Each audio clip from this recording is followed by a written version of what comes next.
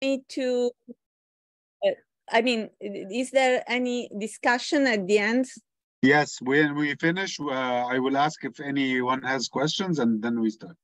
Okay, perfect. So let me say, let me know whenever you want. I will. Yeah, start. I think we can start now. So thank you everyone for joining us today. Today we have Dr. Anna Fagotti from Rome in Italy. She will be talking about HIPEC in ovarian cancer. Thank you, Dr. Anna, for joining us and accepting our invitation, and the floor is yours. Thank you very much. Thank you for inviting me. It's always a pleasure to um, discuss with you uh, such um, an active community in Egypt MSA.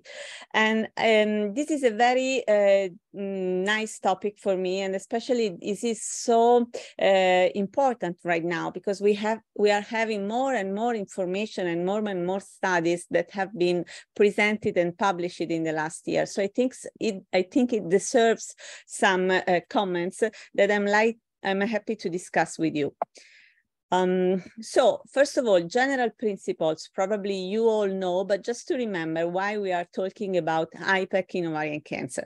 And as we all know, more than 70% of ovarian cancer patients have a peritoneal spread with high rate of recurrence and short survival. But we all believe that surgery is a very important part of the treatment of advanced ovarian cancer. So we still believe that advanced ovarian cancer is mainly a local regional disease, uh, which dif- uh, diffuses within the abdomen. And so this is why we still believe that cytoreductive surgery is important as local regional treatment. And therefore, there is no reason uh, not to support the use of intraperitoneal chemotherapy as a, an, um, a- an effective local regional treatment as well.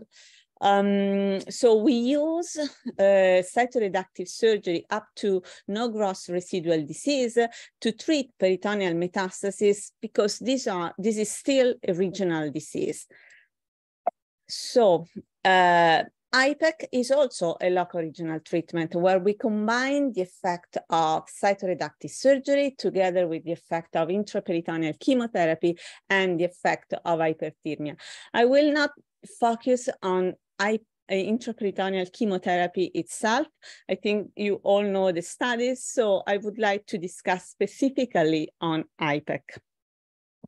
And you all know that the reason that we are uh, performing anyway, or we are giving intraperitoneal chemotherapy within the peritoneal cavity is that, of course, we can reach a higher concentration of drug by direct exposure of the tumor to the drug itself. But we also have uh, like, um, uh, um, like a, uh, barrier which is the peritoneal plasma barrier, which on one side can mm, keep the drug within the peritoneal cavity, but on the other side can bring some of the drug into the blood vessels and so in the um, uh, systemic uh, circulation. So on one side, we have a higher concentration to the tumor, but on the other side, we also have some drug going into the blood vessels and going systemically with a lower, lower concentration for sure, but also with lower uh, systemic toxicity. Indeed, I must say, and I can anticipate to you that we perform IPEC for ovarian cancer patients, and I've never seen some um, systemic uh, cytotoxicity uh, related to the drug. So like, uh, you know, anemia or thrombocytopenia or le- leukopenia related to the uh, uptake of the drug in the blood. Um, another important information that we must have is that the, the regional delivery of chemotherapy penetrates up to five to eight millimeters. And this is important because if you don't know this, uh, we don't, you, we, we cannot understand uh, some um, uh, specific, uh, let's say, um, inclusion criteria of the trial uh, regarding um, patients' characteristics. So if we consider surgery and IPEC, uh, again, we have three times we can consider surgery uh, with, uh, let's say, um, a curative intent, which is primary, interval, and recurrence. I would not talk about palliative setting, although we have some data regarding the PIPAC in the palliative setting. Um, which is another way to deliver uh, intraperitoneal chemotherapy in like in an aerosol um, way. Um, but again, you see here, the, the CRS score is also important, which means uh, residual disease. And as you can see here, uh, it also means completeness of cytoreduction after surgery. And we always apply IPEC in patients with R0 or R1 disease, uh, residual disease, which means up to 2.5 millimeters. And now you can easily understand why this is an inclusion criteria, because if we use uh, this approach in patients with R2, we know that it could not be effective just because it doesn't penetrate into the tumor just because it's in contact with it. Um, and we also combine the effect of hyperthermia. So um, I think this is important because with the time we are knowing more and more about the effect of hyperthermia and especially the effect of hyperthermia combined with new um, chemotherapy uh, drugs or even with targeted treatment. You look at this. So IPEC, which means that the effect of hyperthermia can increase apoptosis, can uh, uh, release heat shock proteins inhibits DNA repair. And this is important, for example, for um, with respect to HRD patients, and we will see it later. It enhances cytokine release. It enhances or favor, favors antigen presentation. And so it might be also important if related with some kind of immunotherapy. It increases T cells activation, increases blood flow, and promotes perfusion. So if combined with other kind, even of systemic chemotherapy, we can increase the, uh, the flow and um, the, the, the concentration of the drug in the tumor. So the rationale uh, at the end, um, IPEC targets peritoneal disease for sure, which is a key point for ovarian cancer there are no barriers of postoperative adhesions. So if we do it at the, at the end of cytoreductive surgery, we are sure that the diffusion of the drug within the peritoneal cavity will be as much uh, complete as possible. There is no interval between uh, cytoreductive surgery and chemotherapy because this is done intraoperatively. So if we are worried about the risk of delaying chemotherapy, systemic chemotherapy after big surgery with um, high risk of lung postoperative, uh, let's say, course, then we can use this kind of approach. We can reach higher concentration at the disease sites. We can limit the systemic toxicity. And we can enhance the effect of chemotherapeutic agents by increasing tumor penetration, through different mechanisms and DNA cross-linking. So as you can see, the rationale is really strong, at least in my opinion, but we have had until January 2018, many many problems um, in order to make this approach really uh, considered by uh, the community. Um, the main problems have been that we many studies have not been performed in gynecologic oncology centers um, and mainly came from retrospective data on very heterogeneous population of platinum sensitive and platinum resistant disease. There was a poor quality of the data because uh, people use different drugs, different temperature, different techniques like open or um, closed techniques.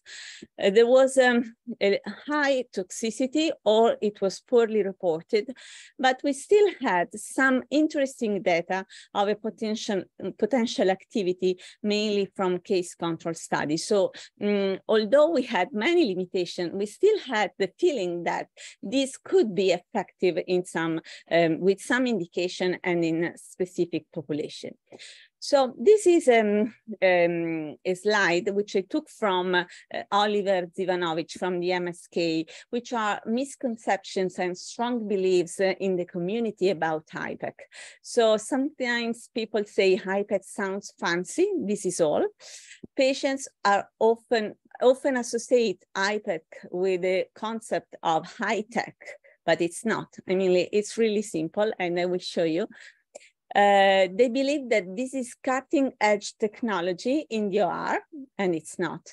Surgeon and hospitals sell IPEC for ovarian cancer as a cure, and it's not. So we must be very honest when we discuss with the patient about the possibilities and the results of IPEC. Some experts recommend using of IPEC in the primary and recurrent setting, whereas others uh, do not suggest to perform IPEC in any setting. So probably, as always, uh, we should look for the right indication in the right patient. So this was the introduction. And now, you know, as I told you, we have some very interesting randomized control trials and some recent prospective studies. Uh, in the interest of time, I will discuss with you only the results of the recent randomized control trials. And it is a very nice um, uh, slide, which I took from my colleague from Turkey, which really um, uh, summarizes all the studies, mainly randomized in the last years and each of them, each color has a different meaning, and I will explain to you. So if we look at the green color, we have positive studies uh, in this respective setting, as you can see here. And of course, this slides has been um, implemented and updated with the new studies. Then we have uh, the red color, which means negative studies, like for example, the current study, which is half positive and half negative according to the setting of the patient that we are um, studying. Then we have these two trials in, in white, which are really prospective studies. They are not randomized, and therefore I will not discuss with you. Um, and we have two older studies like the Spiliotti study and the uh, study, which actually are more or less recent, but they are not conclusive very well, uh, not really conclusive. So I will just give some mention, but will not enter into the details. And I will give you immediately um, some information. The Spiliotti study was very much criticized because of the um, lack of the statistical background and statistical analysis. So there was a, a very mixed population and it was not clear in terms of statistical analysis. So we cannot really um, uh, make take conclusion from this study. And this Antonio Cascale study was actually stopped prematurely because this has exactly the same design as the OVIPEC 1 trial. And they thought that this was not um, uh, ethical to continue the same study and randomizing patients to an arm which was without IPEC, having a, the results of the OVIPEC one. So they made an analysis on a very small population, um, which was actually super impossible in terms of result to the OVIPEC one trial, but they couldn't take any conclusion because of the number of uh, the, uh, the sample size, which was uh, limited from the premature uh, closure of the study. So we will discuss, first of all, of the OVIPEC 1 trial. We you know everything, but I will try to go fast and give you the last updates of the trial.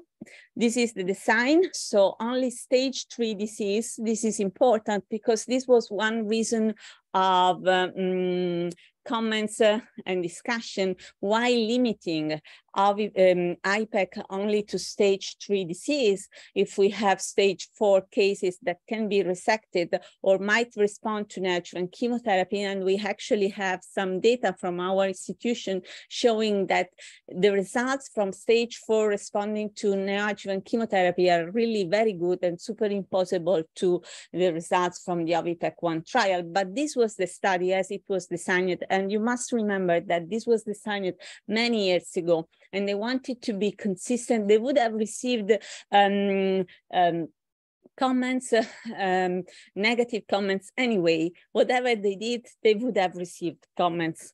Um, and so this is what it is. These patients were considered unresectable according to multidisciplinary tumor board, and they received neoadjuvant chemotherapy three to four cycles. And at least patients who had stable disease after three cycles, uh, they underwent second um, interval debulking surgery with or without um, IPEC. IPEC was performed with cisplatin 100 milligrams per meter square associated with sodium thiosulfate. This is important as well because the dose of cisplatin is much higher than the doses that have been reported from other studies on, um, on IPEC, which was a, usually 50 milligrams or 75 milligrams per meter square.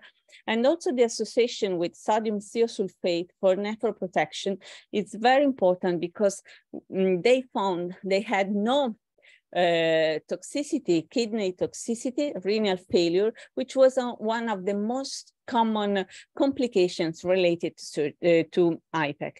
And all patients received then additional three cycles of adjuvant chemotherapy. You see here that no PARP inhibitors and no bevacizumab were allowed in this study as adjuvant treatment.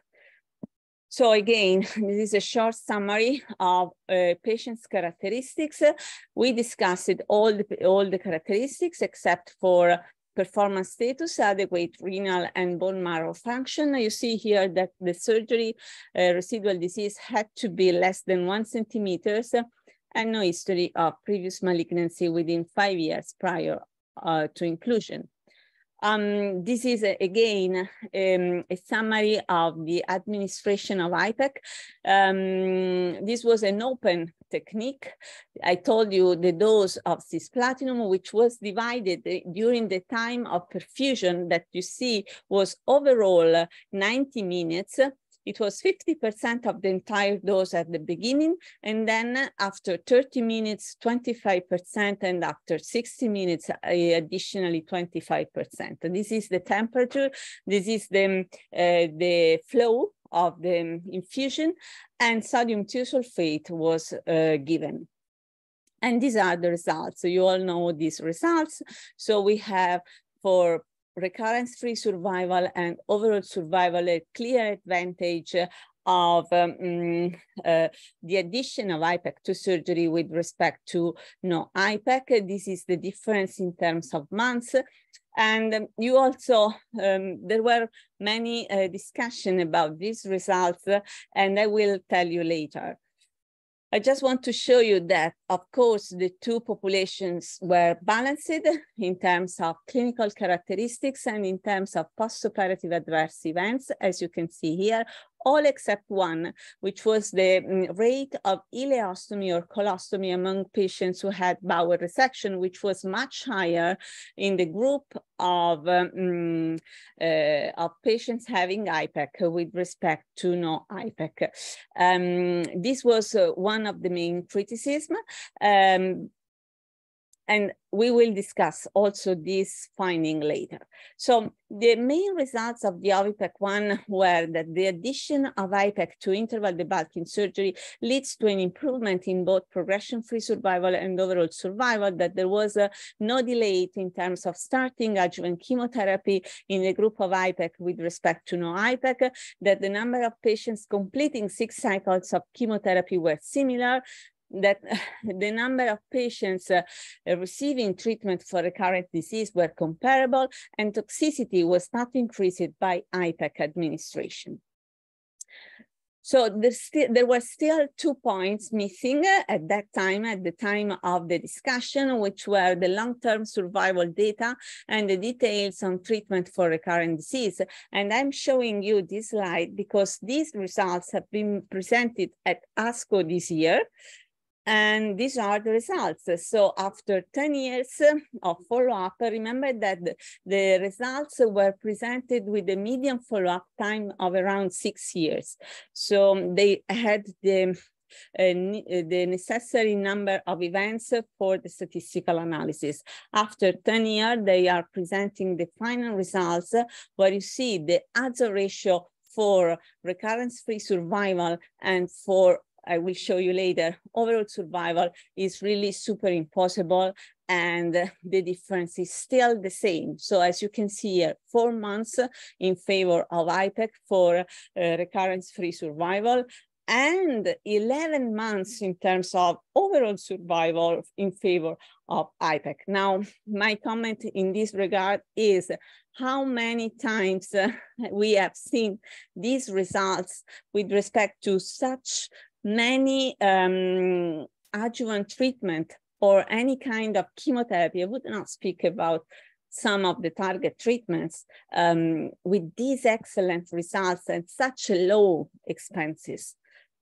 And the other point that um, was missing is the type of treatment of recurrence because this might affect the results in terms of survival. But as you can see here, there is no important difference in the two arms, IPEC and no IPEC with respect to all type of treatments at second line at time of recurrence.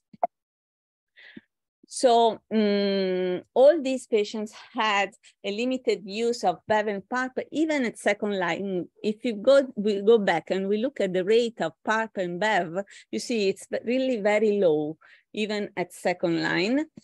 Long survival benefit in high-grade tumors, um, the timing of randomization, which was uh, approximately 14 weeks after diagnosis should be taken into account when comparing uh, median recurrence-free survival and overall survival with other studies.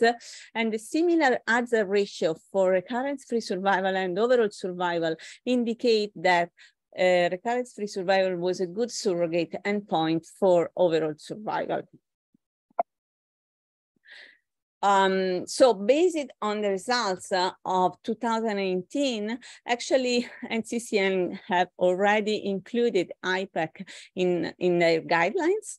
And actually, I will show you later, there was a publication, I think in the 2022, where they showed how much increased the use of IPEC in the United States after the publication of the van Driel trial. So major criticism, many, many criticism, and indeed, still today we are we are not um, convinced or we do not agree as scientific community in Europe that IPEC should or could be considered like an option in patients with uh, interval debulking surgery. So th this was the discussion, and I will show you the reasons. So uh, regarding primary endpoint, progression-free survival instead of overall survival. If you remember well, at that time when the study was designed, the GCIG consensus meeting for ovarian cancer actually considered that PFS could be a good surrogate of overall survival, overall survival for clinical studies in ovarian cancer. And this is the reason is that this is the, the first event that we have after, after a treatment, whereas with the uh, number of lines, uh, overall survival could be delayed, del del um, delayed too much.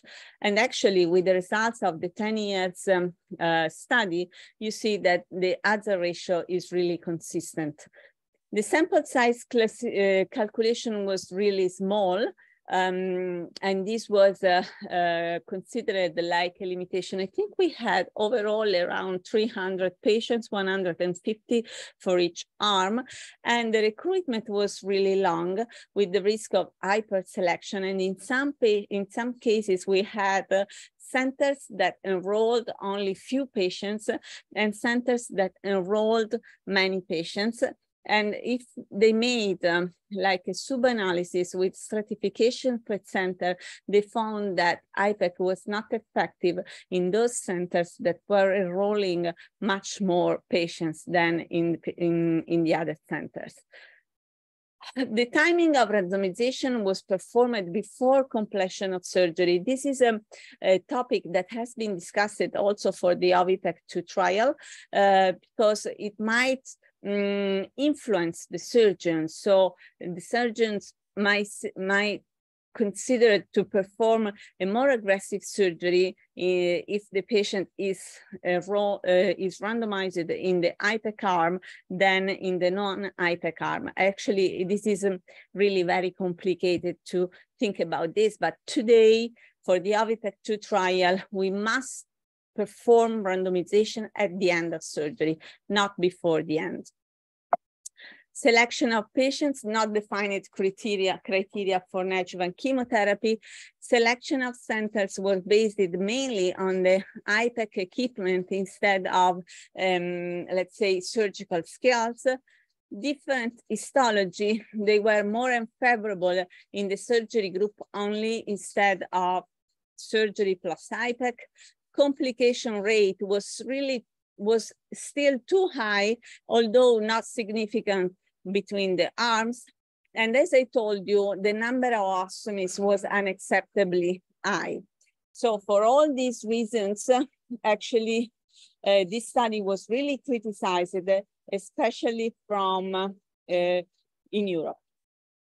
So regarding the imbalance with um, histological types, you see that uh, actually is not really an imbalance because if we look at different randomized trials, we see that again, some of the, um, let's say, more unfavorable histotypes are more represented in the group that is uh, um, the control arm instead of the experimental arm. So the same criticism which was moved to the OVIPEC 1 trial is actually the same criticism that we, we can find also in other randomized trial, like for example, the DESKTOP III study. Also regarding uh, um, the um, the, the, distribution of PARP inhibitors and bevacizumab in the two trials, which was another uh, reasons of criticism because they told you, they told that uh, it, they, they did not take into consideration the advances in terms of medical treatment for ovarian cancer patients. Actually, if we look at the percentages of patients who received PARP as part of second line treatment, only 94 patients, which were 47 in each group of the DESKTOP trial, received BEV, and only 4 to 6% of the patients received PARP inhibitors. So again, sometimes when we design the surgical trials, it takes time, you know, and they are not always aligned with the incredible results that we obtain with medical treatment. Um, again, toxicity incredibly high. So this was presented uh, at, uh, in JCO as one of the reasons for discussion and not using uh, IPEC. And actually, although this is not, I mean, this is not fair, this kind of comparison, this is what it was presented. So, so although statistically not significant, they told that IPEC increased the risk of infection of 63%, ileus 166%, pain 44%, and so on. And actually, they also argued the fact that there was no alopecia at all, but the reason is that most of these patients which who were treated in the Netherlands actually received adjuvant treatment as intraperitoneal approach. And this was why um, these patients had few alopecia with respect to what reported outside. Um, so having said that, if we look at results for any other, um, let's say, treatment, experimental treatment, and if we would should um, make the same comparison, look at this how much is the difference? Although we say that there is no statistically significant event, and with respect to an advantage, which is much lesser than IPEC and with higher costs, look at the difference in terms of, um, uh, let's say, peri um, toxicity. Um, and of course, this is not a comparison that can be accepted.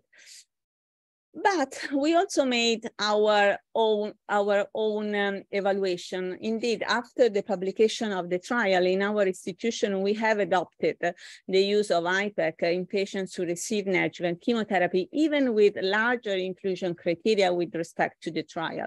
And we tried to compare um, intra and postoperative complications in the two groups, IPEC versus non-IPEC. And actually, Non-IPEC is the group of patients who enter into other clinical trials. And you see here, there is no statistically significant difference. But if we look at the risk of bowel resection with stoma, in our population like this, you see that not only the rate is much lower than expected uh, with respect to the um, van Driel trial, but the rate of, uh, um, of stomas, which is calculated in the group of patients receiving, only, only in the group of patients receiving bowel surgery is much lower in the HIPEC group with respect the, to the non-HIPEC group. So it means that the difference is made by the type of surgery and the extension, extension of surgery is not based on the performance of HIPEC or not. This was a discussion about uh, um, molecular characteristics of the patients. This was another criticism because patients were not described according to molecular characteristics, but I haven't seen any um, surgical studies showing these characteristics, including the LION trial or the DESKTOP trial. But just to say that this group of patients who are named here like BRCA1-like BRCA wild type, which in other words means HR deficient, is the group that in terms of recurrence-free survival has the greatest benefit uh, using IPEC. This data was not confirmed uh, at the primary analysis for overall survival, but I will show you here this is the subgroup analysis presented this year at ASCO for overall survival. So with uh, an update uh, um, of this exactly the same, you see that this result is also confirmed in uh, for the overall survival. So these patients who are the HR deficient seem the most, the ones that mainly benefit from uh, IPEC. And if I go back a second, uh, this is an explanation on why and how the HRD patients, BRCA wild type, um, may benefit uh, uh, from IPEC. And it seems that they have an um, impaired or intermediate BRCA1-2 protein function, function uh, which is degraded um, the activity is reduced by IPEC, as you can see here, and sensitizes hyperthermic, hyperthermia sensitizes cells DNA damage caused by platinum-based chemotherapy and PARP inhibitors.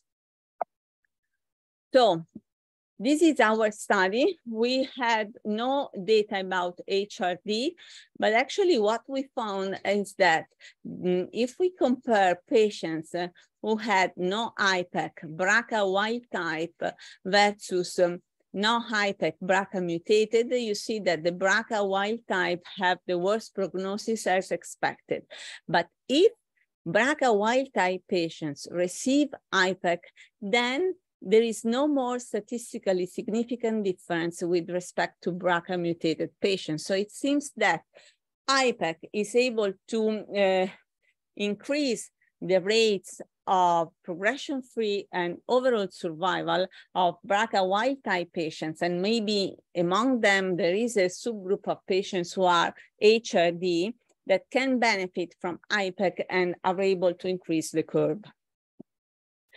So there are some data showing that there is a learning curve in order to reduce the risk of perioperative complications with IPEC, and this number is between 130 and 220, as shown here. I must also admit that very recently I uh, revised the paper on um, the, um, let's say, the uh, complications rate in the last 10 years reported from IPEC, and there is no difference. So although there are some data showing there is a learning curve, indeed, at the end of the story, and we don't know why, this is in the same group of surgeons, or maybe new surgeons have um, used IPEC, but the rate of perioperative complications has remained the same in the last 10 years.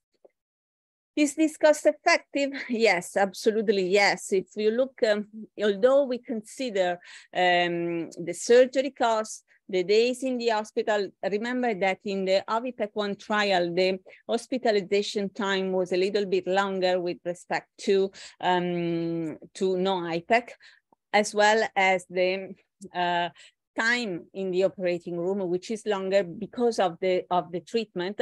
The ICU admission, which is um, in some cases uh, very frequent with IPEC, the use of the drug and so on, you see this is the overall cost, which is much lower with respect to one year of PEP and one year of PARP inhibitors.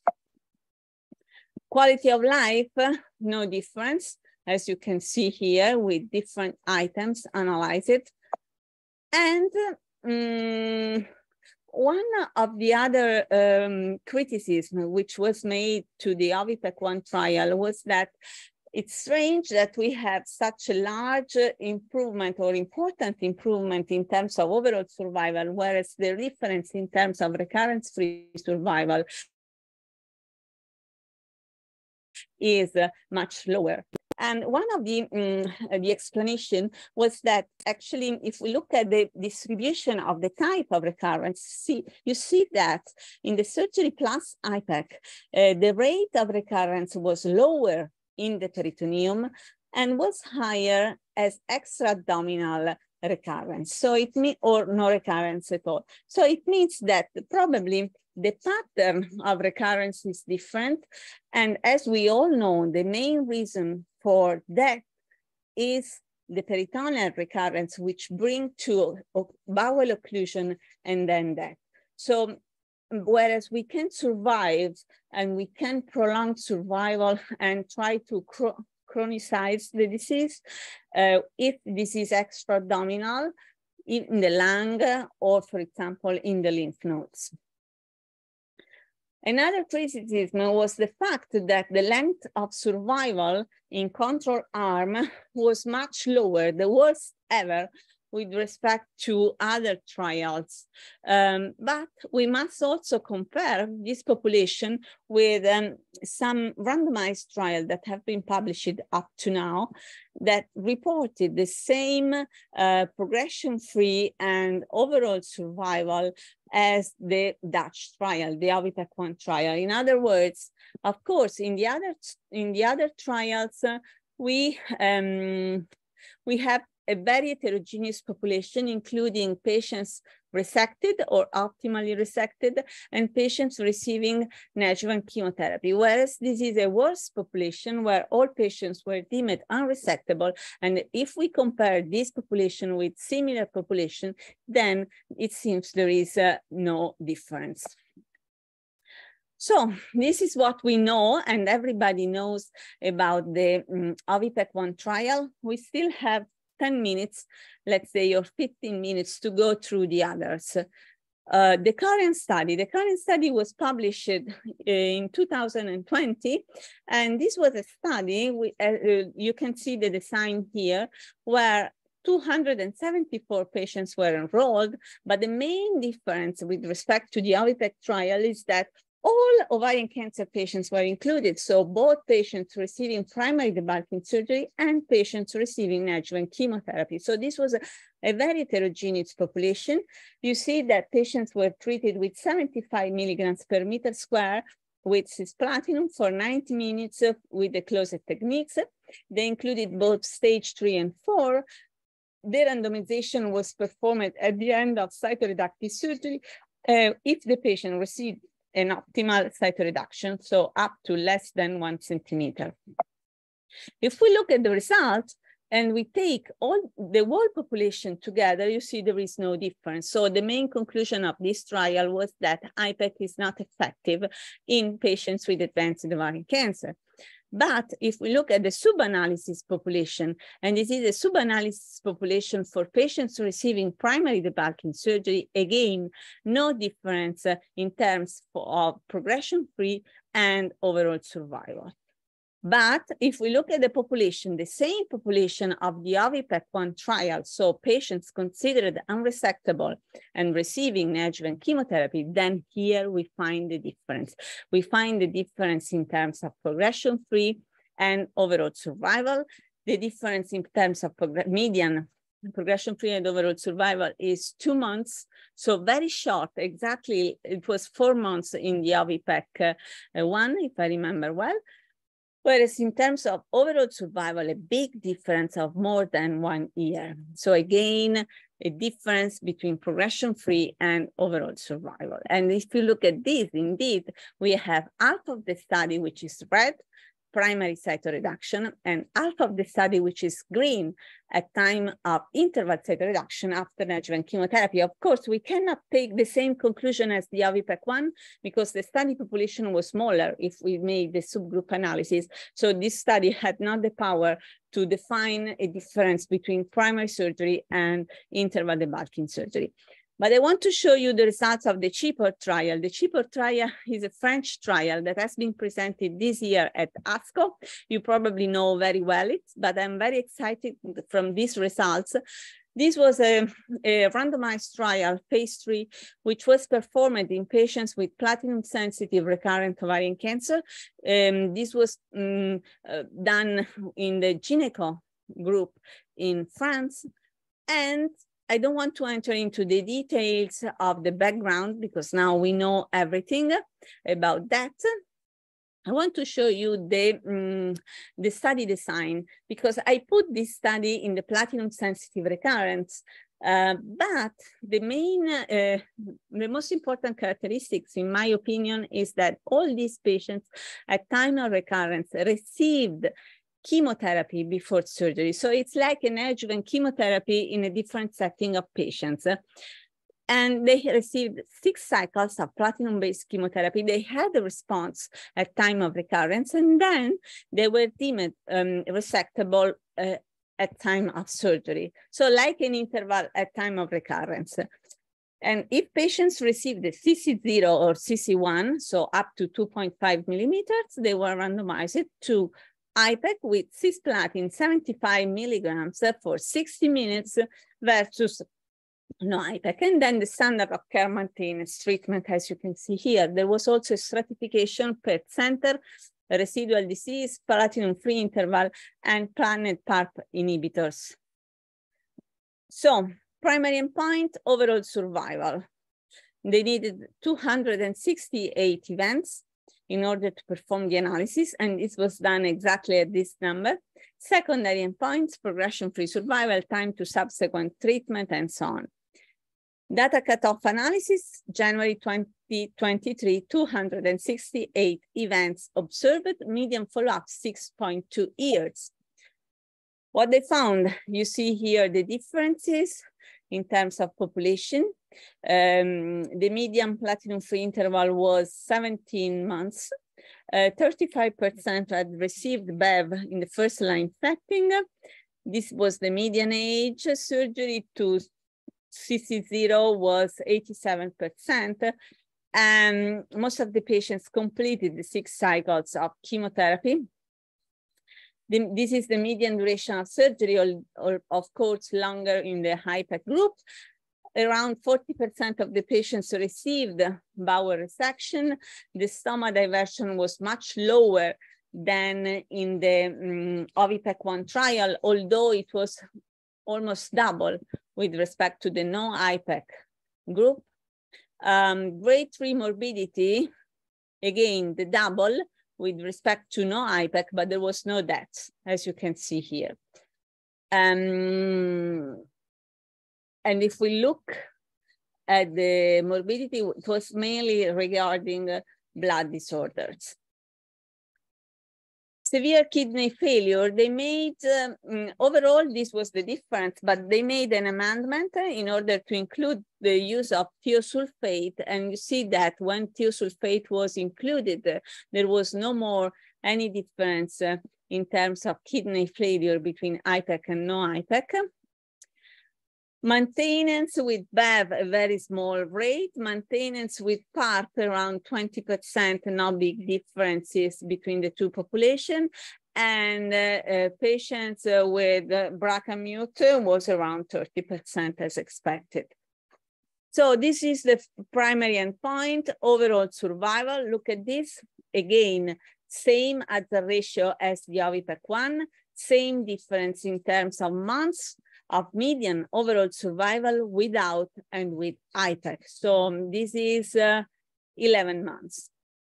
Okay, if we look at progression-free survival as a ratio consistent with the data of the OVIPEC-1 trial, difference two months only, exactly the same results that we have seen for each study using uh, adjuvant chemotherapy and then surgery with IPEC.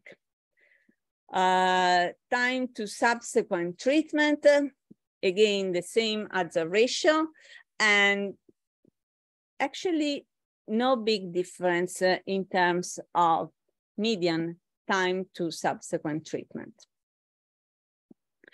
So the conclusion of the CHIPOR trial is that hiding, adding HIPEC to cytoreductive surgery after six cycles of second-line chemotherapy for patients with first late relapse of ovarian cancer significantly improves overall survival. This is the largest prospectively randomized trial showing an overall survival benefit from HIPEC in relapsed ovarian cancer Progression-free survival and time to subsequent treatment are also significantly improved. With IPEC, this treatment must be performed in specialized centers. I want to show you just one point that I didn't uh, uh, discuss with you, which was the median overall survival reported in this study. And if we look at the non-HIPEC group, which means surgery only in patients with platinum-sensitive relapse, this is 45.7 months, which is exactly the same value that the DESKTOP III trial has reported for the secondary cytoreductive surgery. So it seems really very much consistent with the results um, obtained in another randomized trial. So it means that the addition of IPEC is able to improve the results obtained with the DESKTOP III trial. Now, we might also argue that patients have received some kind of additional therapies over their time after the, the, the relapse, and this might have influenced the um, final results of overall survival. But if we look at the rate of PARP inhibitors that patients have received here, it's about 20%, which is much higher than the rate in the DESKTOP III trial. But we really don't know whether this gives really a benefit in terms of post-recurrent survival. As we know from the other trials, especially not only in BRCA mutated patients, that it may even be um, detrimental in terms of um, overall survival or post-recurrent survival. So having said that, where we are now, um, almost completed, um, the last trial that we have, a randomized trial, is the MSK trial. This was a phase two randomized trial in patients with recurrent ovarian cancer, platinum-sensitive recurrent ovarian cancer, who did not receive any, um, let's say, adjuvant chemotherapy at time of recurrence. Um, this was a special study because they selected patients who were not really very much chemosensitive. Um, indeed, they, they put like cutoff uh, platinum-free interval, which was uh, less than 30 months. So if they had a platinum-free interval longer than 30 months, this patient could not be included in the trial. The second point, and none of these patients could receive PARP inhibitors um, they received only five cycles of adjuvant chemotherapy because one of the cycle, the sixth cycle, was considered the one uh, with IPEC. You see here, this is the population. And you see here some characteristics, carboplatin in this case, not cisplatin, 800 milligrams per meter square for 90 minutes. This is the temperature. The residual tumor here is up to five millimeters and randomization was performed at the end of surgery. There was no difference in terms of clinical characteristics. And you see here the curves. So uh, this is a negative study, negative study for progression-free and overall survival, no difference uh, um, for IPEC versus non-IPEC. If we look at patient's characteristics, uh, there were no differences, I told you, except for one, except for, of course, operative time, but this is expected. And the other difference is in terms of bowel resection. And actually, if you look at the standard arm, they had 65% of bowel resection with respect to the IPEC arm. So it seems that patients um, who were somehow considered um, randomized to IPEC, they had a, a less aggressive surgery with respect to the non-IPEC treatment. And this might have justified the, um, uh, the results in terms of survival. Again, no difference in terms of complications. So the conclusion is that IPEC with carboplatin was well tolerated, but did not result in superior clinical outcomes. Now, last words on the ongoing studies, just like a list of studies, uh, we have the OVIPEC 2 trial, exactly the same as the OVIPEC 1 for the primary debulking surgery. So here patients have not received chemotherapy and they are randomized at the end of surgery um, if they receive complete or near complete cytoreductive surgery.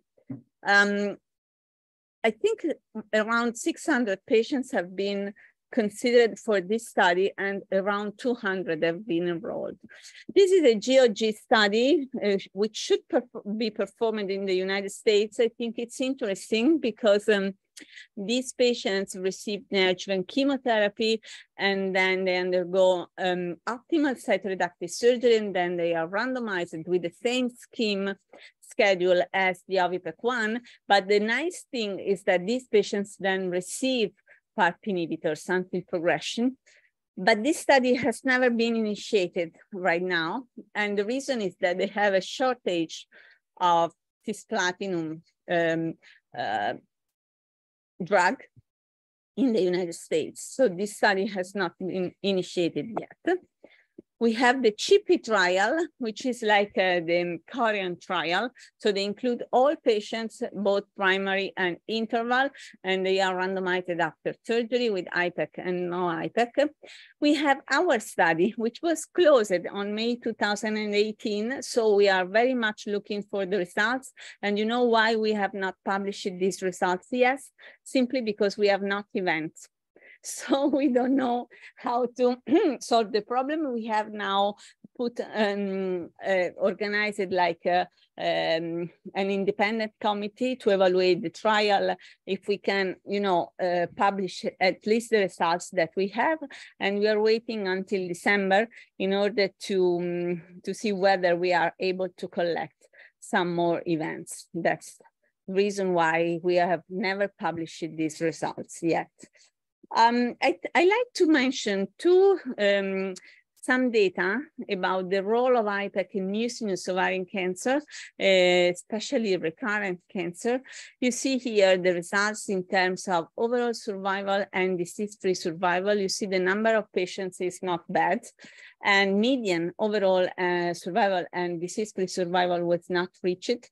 And I think this is really very interesting, which is in line with this trial that now is ongoing at the MD Anderson. It's a phase two study with secondary cytoreductive surgery and IPEC with cisplatin 200 milligram per meter square, so a very high dose in patients with recurrent mucinous ovarian cancer. They experienced it, this approach in two patients. Uh, these patients had no adjuvant chemotherapy at all, and they had a quite um, remarkably durable response of 21 and 27 months. And this is why now they are conducting this study.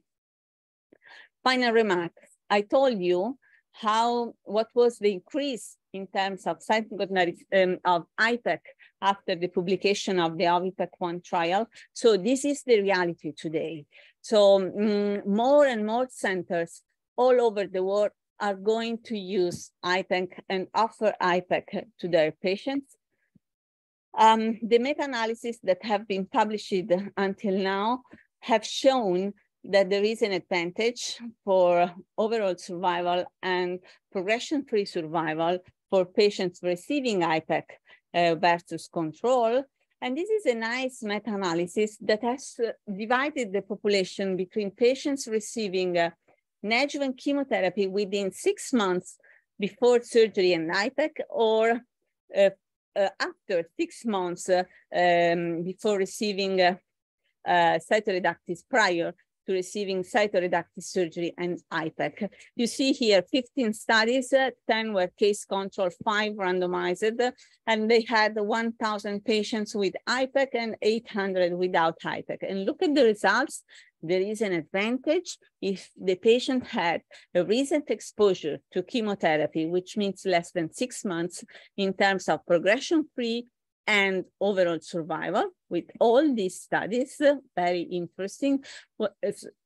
There is no advantage if they had no recent exposure to chemotherapy, which means within six months from surgery and IPEC. So in conclusion, in conclusion, I would say that um, the survival improvement has been prospectively demonstrated in two randomized trials, one interval surgery and one secondary cytoreductive surgery. All these patients had received chemotherapy before.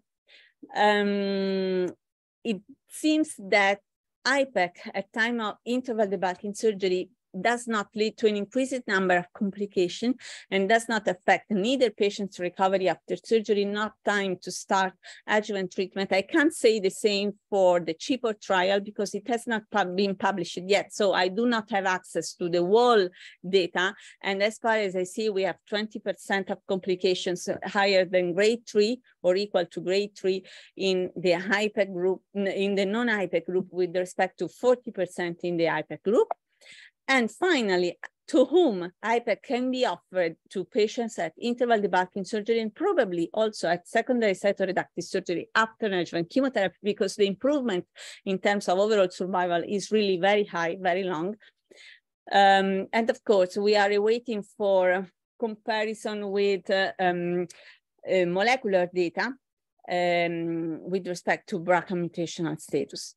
So this is all. I'm sorry if it was really long. I tried to do my best to summarize everything and I'm happy to respond to your questions. Thank you for this wonderful talk. I have a few questions myself. So would you now recommend HIPEC? Because I think there's a problem with HIPEC that there's no standardization. Like one paper say, says like this, uh, another uh, paper says like this. So we still don't have any standards. So would you now recommend HIPEC for all advanced cases of ovarian cancer?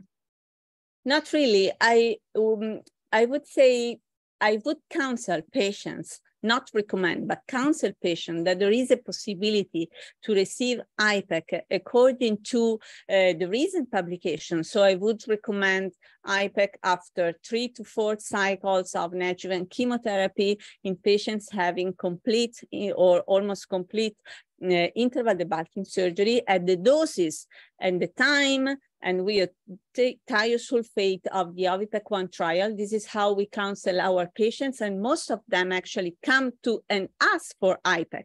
They come even from outside Italy to receive IPEC. And probably after the publication of the CHIPOR trial, I would also counsel patients at time of secondary cytoreductive surgery according to their protocol. So, I mean, the only difference is that these patients are receiving 75 milligrams instead of 100 milligrams. But yes, I would count, I would say this patient that there is this kind of possibility. Why not? I think okay. it's, um, I think it's, uh, you know, uh, it's good for the patient to know. And actually, most of the patient already know they ask for. Okay. And what is the cutoff level of accepted PCI after which you will say, okay, this patient will not benefit, I will not do HIPEC? It's not really a PCI. I think it's a matter of complete cytoreduction. We don't use PCI. We use uh, our score, laparoscopic score. The so Fagotti score. yes. So we know that up to eight, we are able to cytoreduce patients. So we can keep sur continue surgery until complete cytoreduction. And if it's complete, it's complete. So we will, we when we counsel the patient, we say they always sign a consent that if we have complete or almost complete cytoreduction, then they can receive IPEC. And we send them the schedule, the scheme uh, before uh, surgery, and then we mm, we we send okay just if we have complete cytoreduction. Can you give me a summary of the Fagotti score, how it works? But it works, uh, it, it's mainly made by laparoscopy. It's not assessed by um, open surgery, but you can do it, of course. Uh, we assess different areas in the abdomen. So we start from the upper abdomen and we consider presence of um, diaphragmatic carcinomatosis uh, on both diaphragm. Then we consider the um, presence of uh, um, liver metastasis. Of course, we cannot uh, assess intraparenchymal metastasis, but just on the surface of the of the liver, if they are larger than two centimeters and deeply infiltrating from external, we see if they are infiltrating uh, the parenchyma. Then we assess the upper left quadrant. So we consider presence of cancer in the spleen uh, or uh, to the stomach or um, the small, uh, the um, uh, lesser sac. And then we consider the need of bowel resection except for anterior rectal resection. So any other additional resection is considered like a positive score. And parietal carcinomatosis, and the presence of omental cake, which is which involves uh, the um, gastrocolic ligament. So it's not really the larger omentum, but it's the gastrocolic ligament, which means that there is a lot of carcinomatosis. So each of these variables is positive as a score of two, the sum of them gives a uh, total score. If it, is, if it is higher than eight, then the chances to achieve complete cytoreduction is very low, almost zero, at least in our experience. Okay, take a question from Dr. Uh, Walid Akmal. okay, hello, uh, Professor Anna. It's uh, always a pleasure for us to hear you and we are delighted with your talk. Uh, I would like to ask you a question regarding uh, your uh, experience with liver mets, which is stage four epithelial ovarian cancer. Uh, how, uh, uh, what is the number of acceptable liver mets you would go for cytoreduction and HIPEC after resection?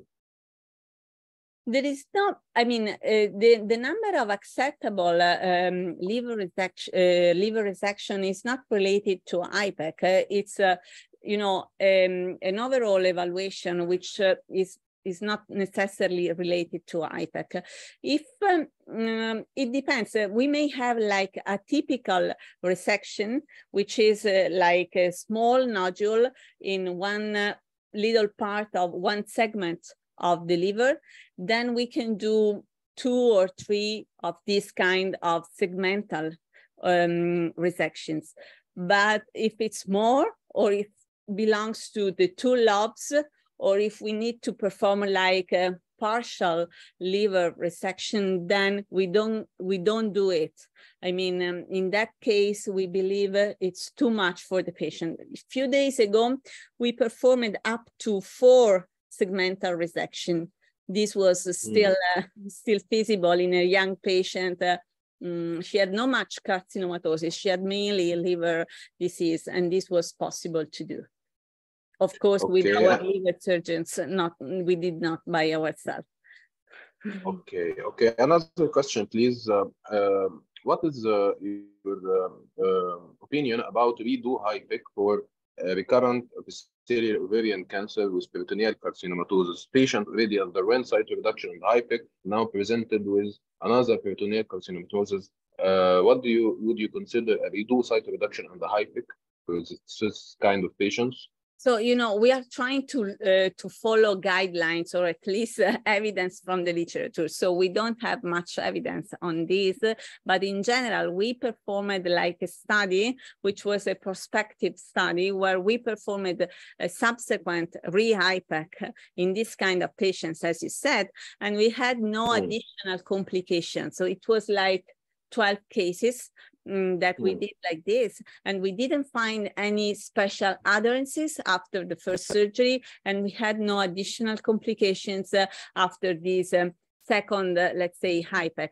And my question would be why we should expect additional complications? I mean, if we do mm. second line, third line, fourth line of chemotherapy, why we should have additional complications with HIPEC, which is simply a second line chemotherapy associated with secondary yes. reductive surgery? Mm.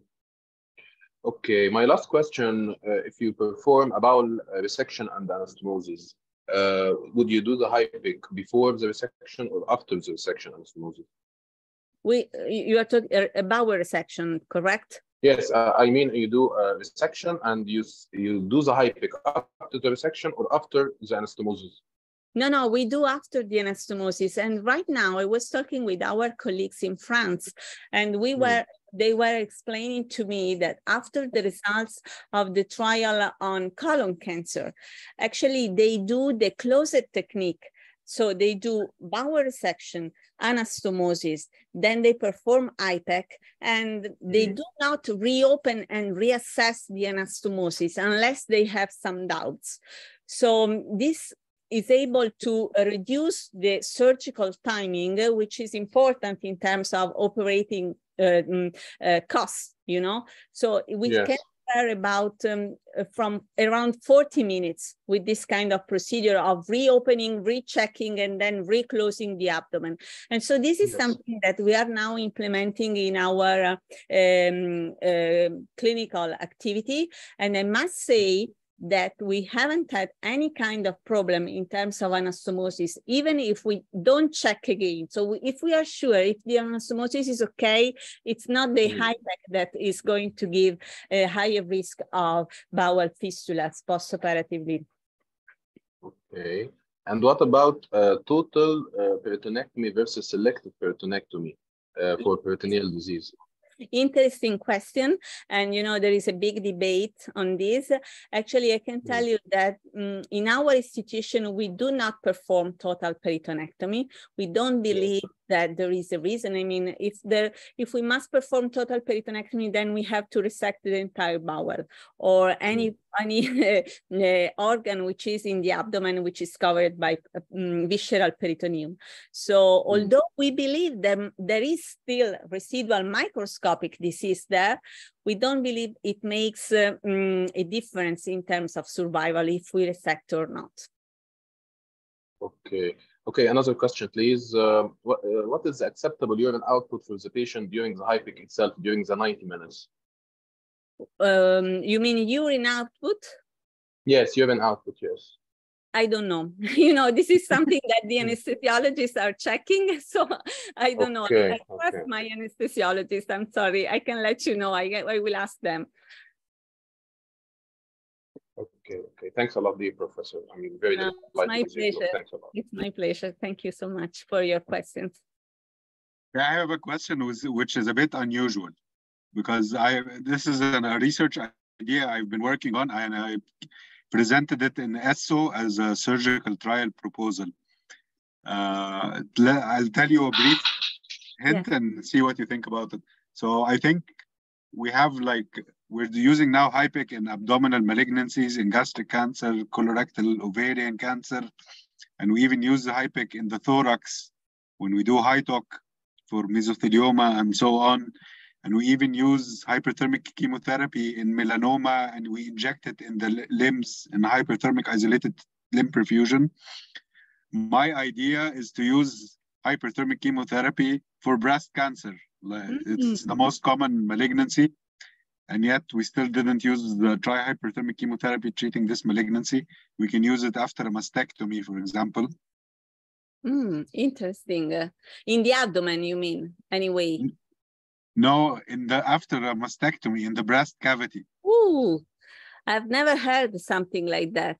Yeah, it's my idea. It's still new. okay, okay. So let me know if you are doing this. Uh, maybe may, I may still have patients, you know, that could be interested in being treated like this. Yeah, uh, I can send you some, uh, maybe a poster. I will send you the poster I did and mm. read it and think about it and let me know if there's maybe a way to collaborate or something.